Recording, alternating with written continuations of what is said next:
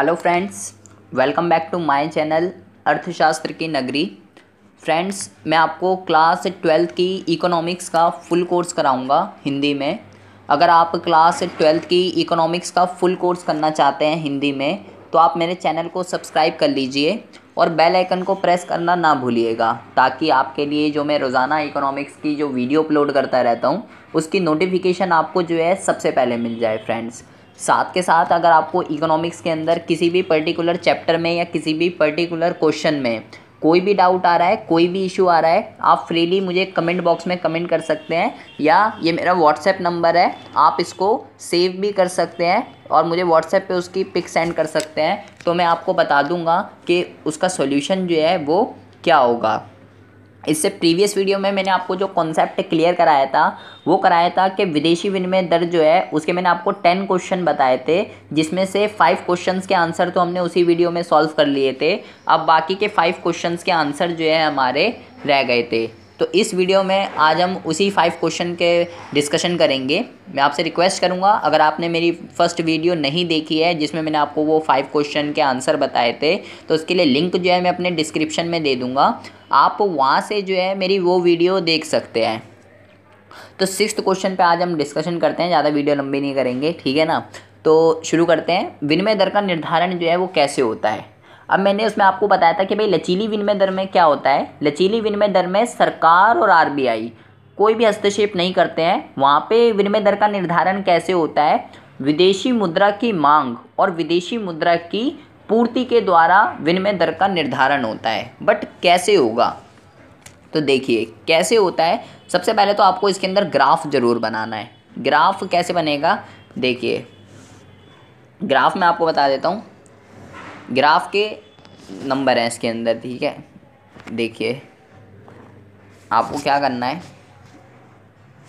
ये हो गया आपका एक्स एक्सिस ये हो गया वाई एक्सिस ये हो गया ज़ीरो अब यहाँ पे आप लिख सकते हैं अमेरिकी डॉलर की मांग और पूर्ति, डॉल, अमेरिकी डॉलर की मांग और पूर्ति, और यहाँ पे आप लिख सकते हैं डॉलर की कीमत रुपए में। डॉलर की कीमत रुपए में। ये आप यहाँ पे लिखना है वाई एक्सिस पे। अब निर्धारण कहाँ पर होगा? विदेशी विनिमय दर का निर्धारण या लचीली विनिमय दर का निर्धारण आप ये कह सकते हो कहाँ पर होता है, जिस पॉइंट पर। सबसे पहले आपको क्या बनाना है? सबसे पहले आपको बनाना है मांग वक्र, ठीक है? तो ये हो गया आपका डी डी ठीक है? और फिर आपको बनाना है पूर्ति वक्र। और ये हो गया आपका पूर्ति वक्र। ये हो गया एस एस। तो ये आपको लिखना है कि भाई जिस बिंदु पर, विदेशी विनिमय दर का निर्धारण कहाँ पर होता है? जिस पॉइंट पर विदेशी विनिमय की मांग और विदेशी विनिमय की पूर्ति जिस पॉइंट पर बराबर हो जाती है, वहीं पर विनिमय दर का क्या हो जाता है? निर्धारण हो जाता है। तो जहाँ पर भी ये प्रतिच्छेद कर रहे हैं, जहाँ पर भी ये इंटरसेक्ट कर रहे हैं, वहीं पे विनिमय दर का निर्धारण हो जाएगा। जैसे यहाँ पर इंटरसेक्ट ये भी लिख सकते हो, जिस पॉइंट पर, जिस स्तर पर विदेशी मुद्रा की मांग और विदेशी मुद्रा की पूर्ति आपस में प्रतिच्छेद करते हैं इंटरसेक्ट करते हैं या एक दूसरे को काटते हैं, वहीं पे विनिमय दर का जो है निर्धारण हो जाता है। मान लो विनिमय दर का निर्धारण हो गया फॉर एग्ज़ाम्पल के लिए फिफ्टी रुपीज़ ठीक है ना? ये एक मैंने एग्जांपल ले लिया फिफ्टी रुपीज़ और एक डॉलर के लिए, ठीक है ना? एक डॉलर के लिए फिफ्टी रुपीज़ अब क्या करना है? अब देखिए, अब होता है क्वेश्चन शुरू. इतना तो आपको लिखना ही है कि भाई इस चित्र में डी डी जो है वो मांग है, मांग वक्र है एस एस जो है वो पूर्ति वक्र है, इसको आप नाम दे सकते हो ई e. इसको ई e नाम दे दीजिए चाहे, बिंदु ई e जो है वो संतुलन बिंदु है जहाँ पे विदेशी मुद्रा की मांग और विदेशी मुद्रा की पूर्ति आपस में बराबर है। इस बिंदु पर जो है फिफ्टी संतुलित कीमत है और ये संतुलित मात्रा है एक डॉलर और फिफ्टी रुपीज़ अब अगर, अब हमें दिखाना है इसमें फ्लक्चुएशन कैसे होता है। अब अगर मान लीजिए भारत को अमेरिकी डॉलर की मांग अगर बढ़ जाए तो अगर मांग बढ़ जाए, भारत को अमेरिकी डॉलर की अगर मांग बढ़ जाए, भारत जो है भारत जो है अमेरिका से ज़्यादा चीज़ें आयात करने लगे। मैंने आपको बताया था, मांग कब होती है हमें? जब हम आयात ज़्यादा करते हैं, जब हम विदेशों की वस्तुएँ खरीदते हैं तो क्या होता है? तो हमें विदेशी मुद्रा की मांग होती है और जब विदेशी हमारी वस्तुएँ खरीदते हैं तो विदेशी मुद्रा की पूर्ति होती है। इसके अंदर आपके तीनों के तीनों कॉन्सेप्ट क्लियर हो जाएँगे। Question number six seven eight nine ten सारे क्वेश्चन इसी के अंदर कवर हो जाएँगे। आपको यह अच्छे से समझना है। तो वीडियो को लास्ट तक देखिएगा स्किप मत करिएगा। सेवन एट नाइन टेन सबका आंसर इसी ग्राफ के अंदर है। अब देख लीजिए, विनिमय दर का निर्धारण तो ये हो गया कि भाई जिस पॉइंट पर विदेशी, विनिमय की मांग और विदेशी विनिमय की पूर्ति जहाँ पर भी आपस में बराबर हो जाते हैं, वहीं पे विनिमय दर का निर्धारण हो जाता है। अब question number seven eight nine ten इन सब का आंसर क्या है? अब मान लो अगर भारत को विदेशी विनिमय की मांग जो है वो ज़्यादा हो गई डॉलर की मांग ज़्यादा हो गई तो भाई जब मांग ज़्यादा हो जाती है तो मांग वक्र जो है वो दाई और खिसक कर, दाई और खिसक कर डी वन डी वन पर पहुँच जाता है। तो अब ये क्या शो कर रहा है? कि अब क्यों, अब ये क्या, अब ये नए वाले पूर्ति वक्र को कहाँ पे इंटरसेक्ट कर रहा है? अब ये नए वाले पूर्ति वक्र को यहाँ पर इंटरसेक्ट कर रहा है। तो इससे क्या हुआ? जब मांग बढ़ती है तो ये देखिए, ये क्या शो कर रहा है अब? ये मान लीजिए, विनिमय दर बढ़ गई, क्योंकि अब मान लीजिए इसको लिख लीजिए सिक्सटी ठीक है? विनिमय दर क्या हो गया? विनिमय दर बढ़ गई। और और मांग क्या हो गई? यहाँ पे आ गया ये। इसको डॉट डॉट डॉट कर लीजिए। और ये हो गई कम। और ये क्या शो कर रहा है? यहाँ पर पूर्ति बढ़ गई। पूर्ति बढ़ गई और मांग मांग कम हो गई। पूर्ति यहाँ से ये बढ़ गई।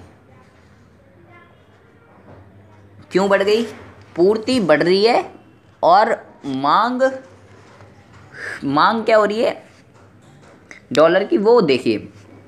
मैंने आपको बताया था कि भाई विदेशी विनिमय दर और विदेशी मुद्रा की मांग में विपरीत संबंध होता है। जब जब विदेशी विनिमय दर बढ़ती है तो विदेशी मुद्रा की मांग कम हो जाती है।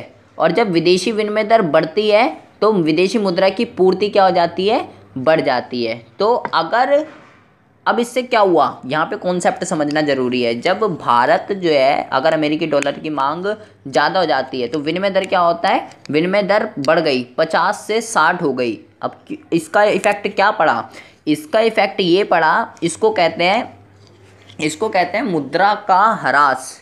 मुद्रा का ह्रास का क्या मतलब है? भाई, जिस एक डॉलर को खरीदने के लिए, जिस एक डॉलर को खरीदने के लिए पहले भारत को पचास रुपये देने पड़ते थे, अब उसी एक डॉलर को ख़रीदने के लिए कितने रुपए देने पड़ेंगे? उसी एक डॉलर को ख़रीदने के लिए अब आपको सिक्सटी रुपीज़ देने पड़ेंगे। मतलब मुद्रा की क्रय शक्ति क्या हो गई? मुद्रा की क्रय शक्ति हमारी कम हो गई। जो जो हम पचास रुपये में पहले एक डॉलर ख़रीद लेते थे, अब उसी एक डॉलर को ख़रीदने के लिए सिक्सटी रुपीज़ देने पड़ेंगे। मतलब देशी मुद्रा की क्या हुआ? क्रय शक्ति कम हो गई। इसे कहते हैं मुद्रा का ह्रास। तो मुद्रा का ह्रास क्या होता है? जब हम ये कह सकते हो, जब एक डॉलर की कीमत पचास से सिक्सटी हो जाती है, जब हमें एक डॉलर खरीदने के लिए पचास रुपये की बजाय साठ रुपये देने पड़े मतलब मुद्रा की क्रय शक्ति जब घट जाती है, उसे कहते हैं मुद्रा का ह्रास। ठीक है ना? जो आपका सेवन क्वेश्चन है। और अगर मान लो सप्लाई बढ़ जाए तो अगर सप्लाई बढ़ जाती है तो क्या होता है? सप्लाई वक्र जो है दाई और खिसक जाता है। तो इसको दाई और खिसका दीजिए। एस वन एस वन अब क्या हुआ? दाएँ, अब ये कहाँ पर इंटरसेक्ट कर रहा है? ये इंटरसेक्ट कर रहा है यहाँ पर, पुराने वाले को। तो इससे क्या हुआ? इससे विनिमय दर क्या हो गई? कम हो गई। पचास से कितनी हो गई? चालीस। ठीक है ना? पचास से कितनी हो गई? पचास से हो गई चालीस। अगर पूर्ति बढ़ रही है तो। अब देखिए, अब क्या हुआ? इसे कहते हैं मुद्रा का अधिमूल्यन। इसे क्या कहते हैं? मुद्रा का अधिमूल्यन। मतलब जिस एक डॉलर को ख़रीदने के लिए पहले हमें पचास रुपये देने पड़ते थे, अब उसी एक डॉलर को ख़रीदने के लिए अब हमें कितने पैसे देने पड़ेंगे?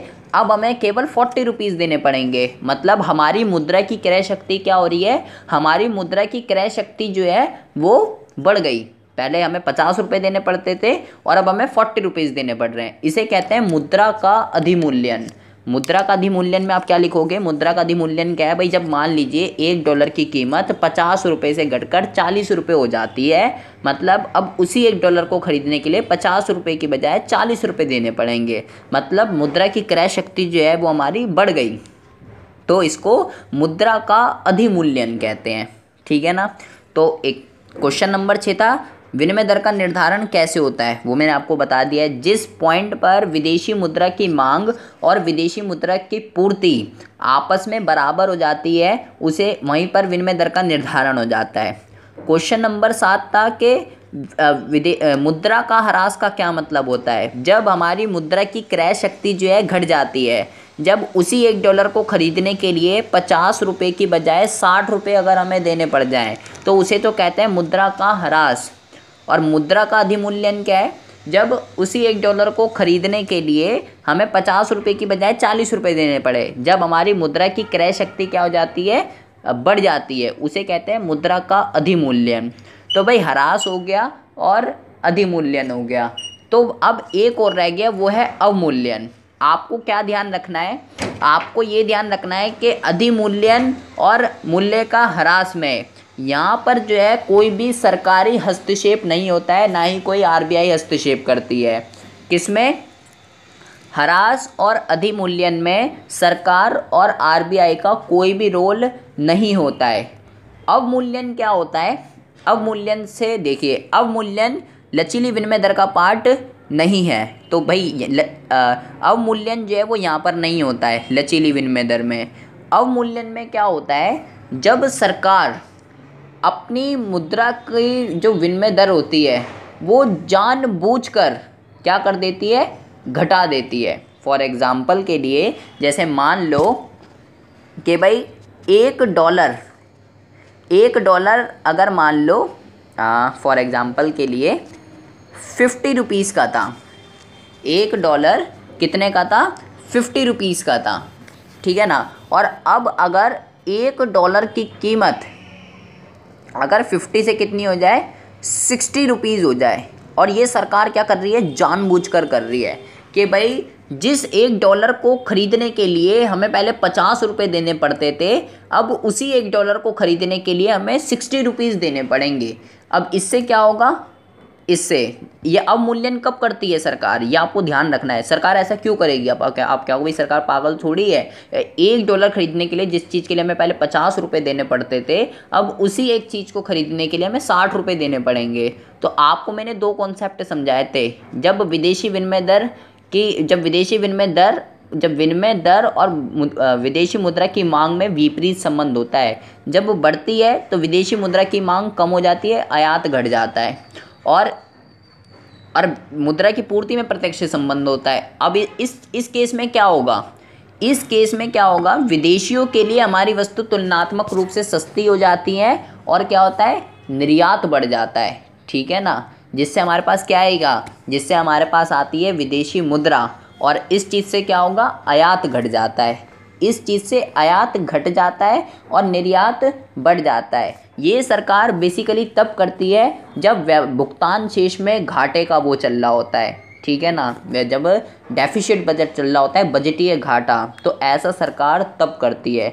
तो इसमें आपको क्या लिखना है मूल्यन में? जब सरकार या आर आर बी आई जानबूझकर अपनी मुद्रा का मूल्यमान जो है वो आधिकारिक रूप से जानबूझकर घटा देती है तो उसको क्या कहते हैं?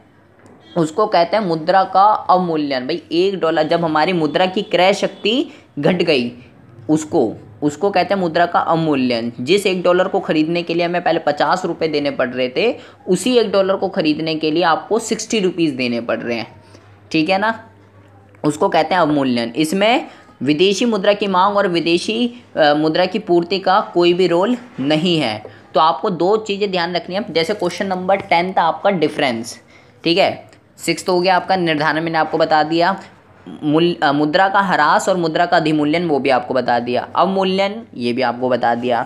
तो जैसे क्वेश्चन नंबर टेन था, डिफरेंस। तो डिफरेंस में आपको क्या ध्यान रखना है कि भाई जो मुद्रा का ह्रास है और जो मुद्रा का अधिमूल्यन है, दो चीज़ें आपको ध्यान रखनी है। पहली बात तो ये लचीली विनिमय दर के कारण होता है और दूसरा, यहाँ पे सरकार और आरबीआई का कोई भी रोल नहीं होता। यहाँ पे सरकार और आरबीआई कोई भी हस्तक्षेप नहीं करती है।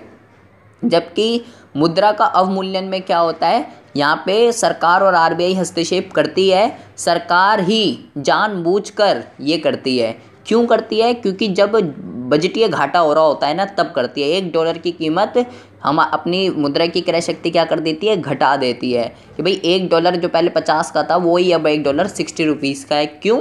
इससे निर्यात बढ़ेगा और आयात कम हो जाएगा, जिससे बजटीय घाटे पर इफ़ेक्ट पड़ता है वो सही होने लगता है। इसलिए सरकार जानबूझकर ये ऐसा करती है। यहाँ पे मुद्रा विदेशी मुद्रा की मांग और विदेशी मुद्रा की पूर्ति का कोई भी रोल नहीं होता है। ठीक है ना? तो ये तीनों कॉन्सेप्ट थे विदेशी मुद्रा की हर, मुद्रा का ह्रास मुद्रा का अधिमूल्यन और मुद्रा का अवमूल्यन। और दर का निर्धारण कैसे होता है ये मैंने आपको ग्राफ इसका बता ही दिया ये ग्राफ इंपॉर्टेंट है इसको आप एक्सप्लेन भी कर सकते हो कि भाई जब भारत के लिए विदेशी मुद्रा की मांग बढ़ जाती है तो मांग वक्र जो है डी डी से खिसक कर डी वन डी वन पर पहुँच जाता है। परिणाम स्वरूप क्या होता है? विनिमय दर पचास से साठ हो जाती है। इस, इसका मतलब क्या हुआ? जिस एक डॉलर को ख़रीदने के लिए हमें पहले पचास रुपये देने पड़ते थे, उसी एक डॉलर को ख़रीदने के लिए अब हमें सिक्सटी रुपीज़ देने पड़ रहे हैं। इसको मुद्रा का ह्रास कहते हैं। और जब अमेरिकी डॉलर जो है डॉलर की पूर्ति बढ़ा दें तो क्या होता है? विनिमय दर घट जाती है। जिससे मुद्रा की क्रय शक्ति जो है वो बढ़ जाती है। अब एक डॉलर की बजाय हमें पचास रुपये की बजाय फोर्टी रुपीज़ ही हमें अब देने पड़ेंगे, इसे मुद्रा का अधिमूल्यन कहते हैं। इस ग्राफ को आप ये एक्सप्लेन कर सकते हो। ग्राफ ज़रूर बना के आना है। इकोनॉमिक्स के अंदर ग्राफ के ही नंबर हैं और एक्सप्लेनेशन के कितना जितनी अच्छी आप उसको प्रेजेंटेशन दोगे, उतने ही ज़्यादा मार्क्स आप अपने इकोनॉमिक्स के अंदर ला सकते हो। तो ये पूरा जो दस क्वेश्चन थे, मैंने आपको उसका आंसर बता दिया है। मे बी आपको ये पूरा चैप्टर जो है, अच्छे से समझ में आ चुका होगा कि भाई ये विदेशी विनिमय दर का निर्धारण कैसे होता है, मुद्रा का ह्रास, मुद्रा का अधिमूल्यन, अवमूल्यन जो है वो क्या होता है। ठीक है ना? अगर आपको इसके अंदर कोई भी क्वेरी है, कोई भी इशू है, आप फ्रीली मैंने व्हाट्सएप नंबर दे रखा है triple nine zero one five eight three one seven ये मेरा व्हाट्सएप नंबर है। अगर आपको इसमें या किसी भी पर्टिकुलर चैप्टर में, किसी में भी राष्ट्र वगैरह में मोस्टली बच्चों को दिक्कत होती है, किसी में भी कोई भी डाउट है, कोई भी इशू है, आप मेरे से, मेरे व्हाट्सएप पर पूछ सकते हैं। ठीक है? या कमेंट बॉक्स में कमेंट भी कर सकते हैं। मैं बता दूँगा कि उस पर उसका सोल्यूशन जो है वो क्या होगा। तो मिलते हैं आपसे नेक्स्ट वीडियो में। अगर आपको मेरी वीडियो ये पसंद आई हो तो इसे ज़्यादा से ज़्यादा अपने फ्रेंड्स में लाइक और शेयर ज़रूर कीजिएगा। और अगर चैनल पर पहली बार आए हो तो सब्सक्राइब करना मत भूलिएगा यार, ठीक है ना? ताकि आपके लिए मैं जो वीडियो अपलोड करता रहता हूँ, उसकी नोटिफिकेशन जो है आपको सबसे पहले मिल जाए। मिलते हैं आपसे नेक्स्ट वीडियो में। थैंक यू सो मच आपने मेरी वीडियो को वॉच किया। Have a good day bye bye